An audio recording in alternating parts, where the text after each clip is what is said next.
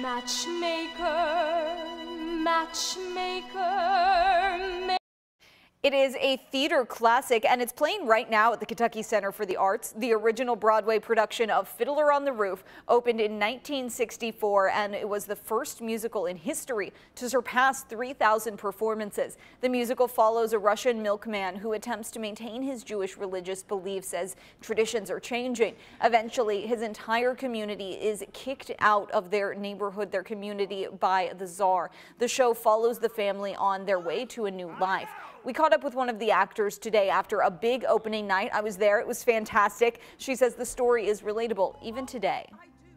Play about refugees, not immigrants, refugees, and I think that that is still nowadays something that is very um, relevant and that is resonating with many people in their communities.